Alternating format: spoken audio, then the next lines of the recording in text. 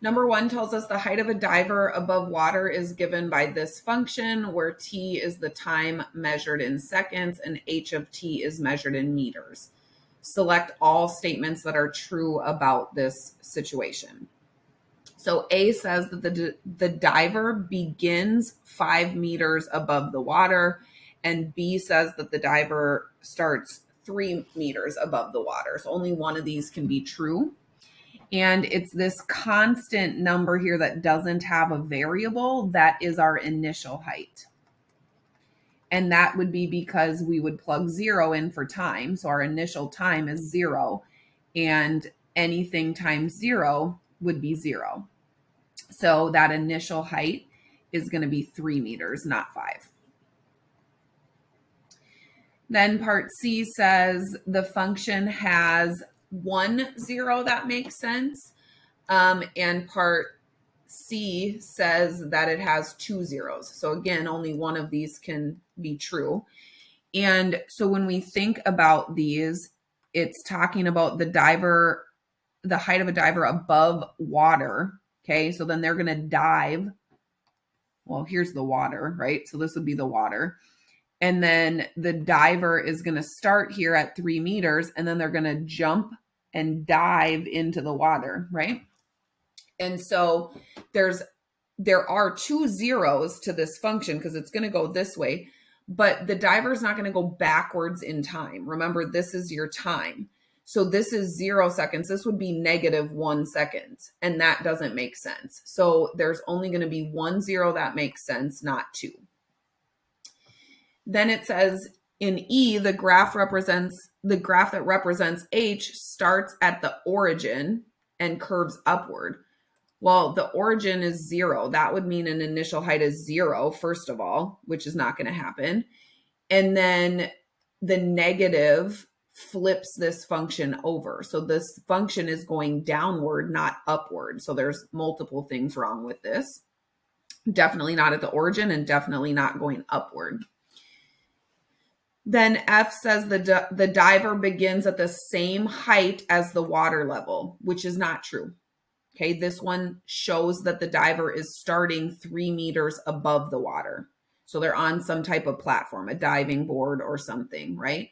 A, a diving board, a dock, a bridge, whatever. And then they're jumping off of that. So they are not on the ground. So this one is not true either. Number two, the height of a baseball in feet is modeled by the function given here, and that graph is also shown to us. About when does the ball reach its max height? So we can see this max height here. You know, it's about right here, right? So we can see the max height, and then we can see when it happens so the max height is happening um, about, I don't know, 1.8 seconds, right? 1.9. So something right before two seconds. So about 1.9 seconds. And then what is that max height? And so that's the vertical amount, and that's about 60, and we're measuring in feet, so 60 feet. And then it says, when does the ball hit the ground? So then here's the ball's path. It's traveling above the ground, above the ground, coming back down, down, down, down, down until it hits the ground. And so that looks like maybe 3.8 seconds.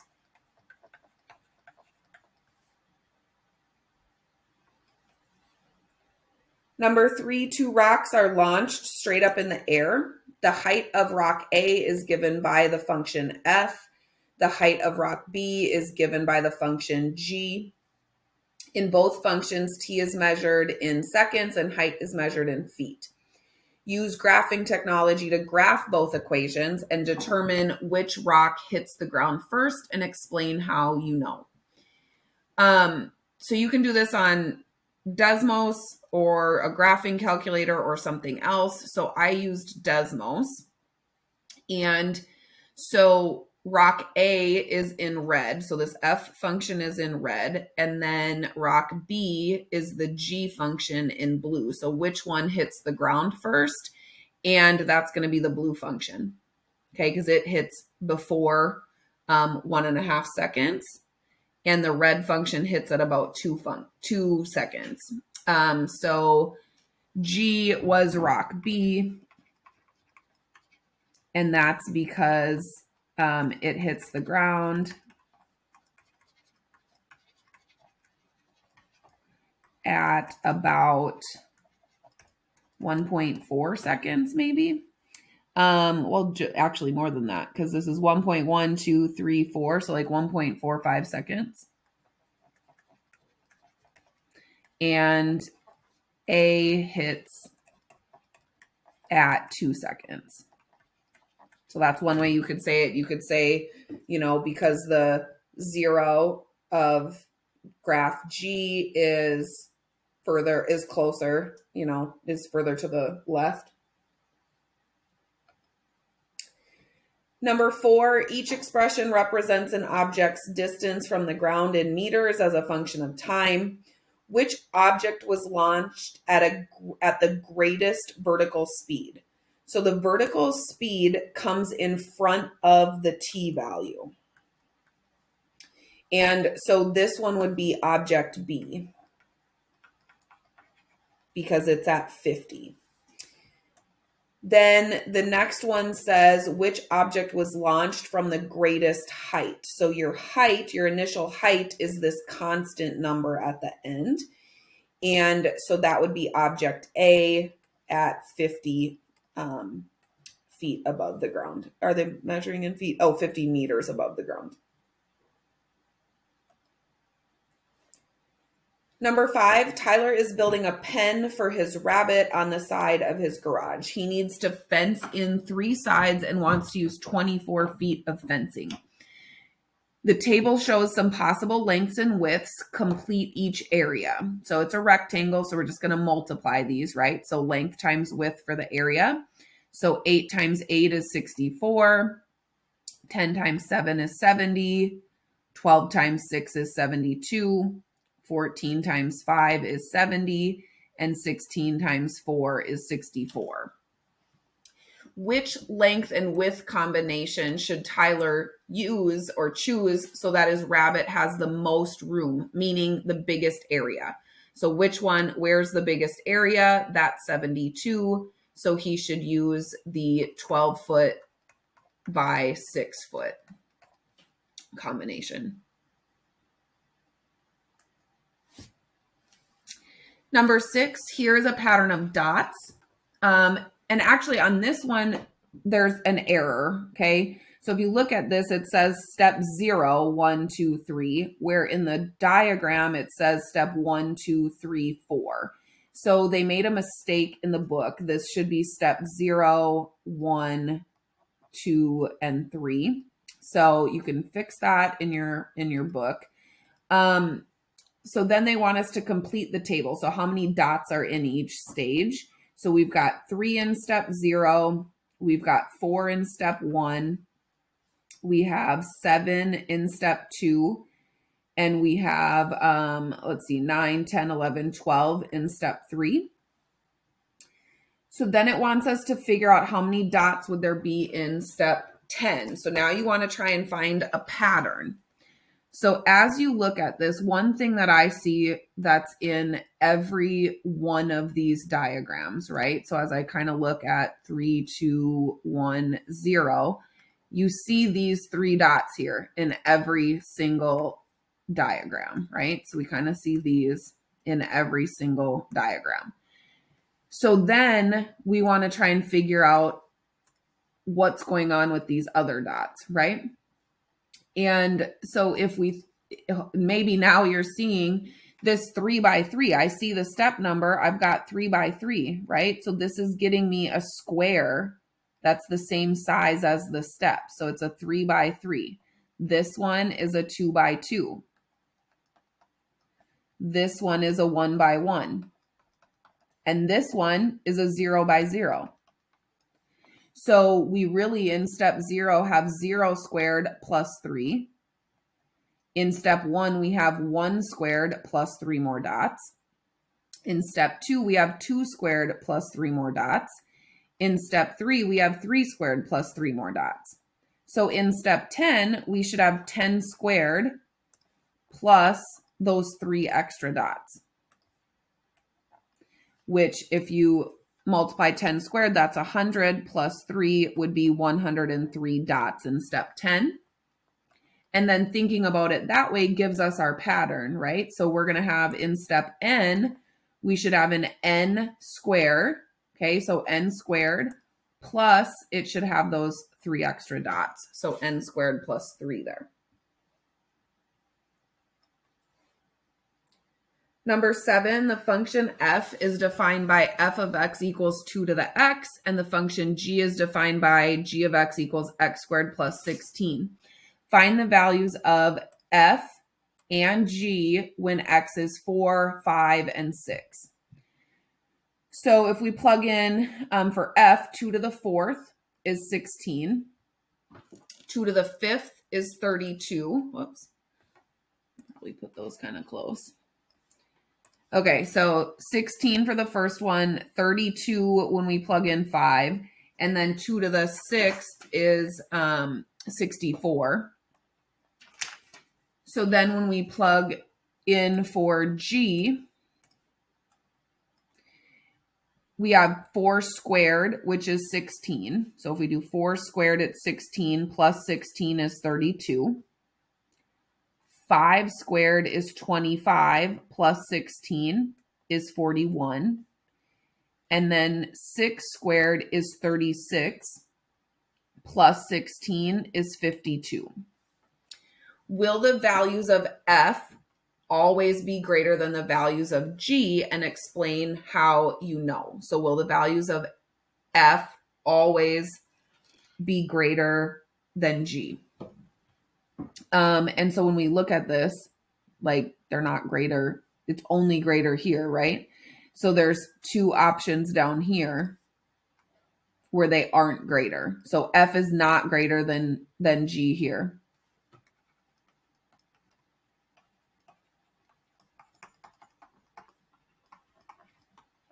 So when X equals four and five, um, F was less.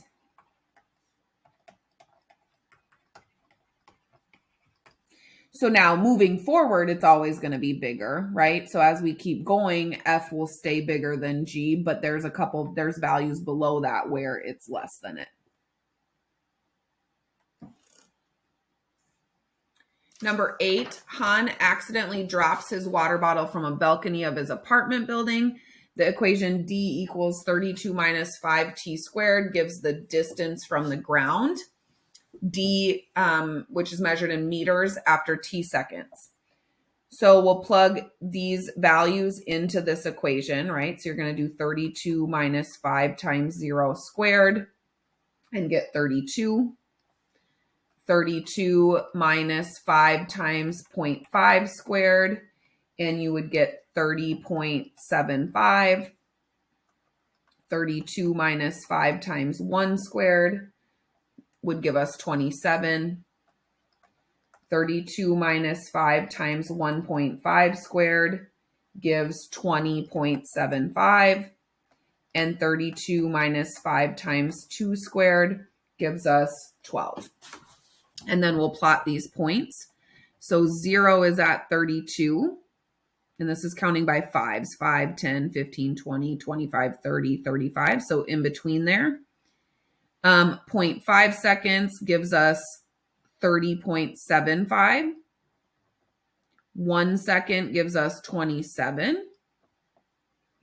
1.5 seconds gives us 20.75. And two seconds gives us 12. B says, is the water bottle falling at a constant speed? Explain how you know. So this is where you're going to look at the distances between these numbers. So when you go 32 or um, 32 minus 30.75 for figuring out how far apart those are, it dropped 1.25. Okay. And then for the next gap, this gap is 3.75. And then this gap is 6.25 And then this gap is 8.75. So the gaps each half second are widening. So it's not falling at a, at a constant speed. Whoa.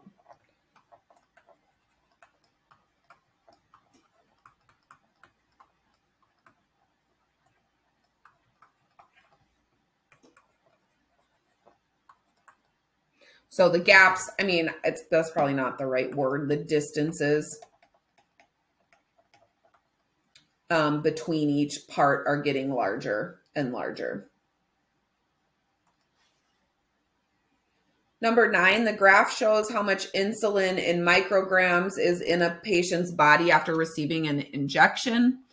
Write an equation giving the number of micrograms of insulin, M, in the patient's body H hours after receiving the injection. So this is an exponential decay function.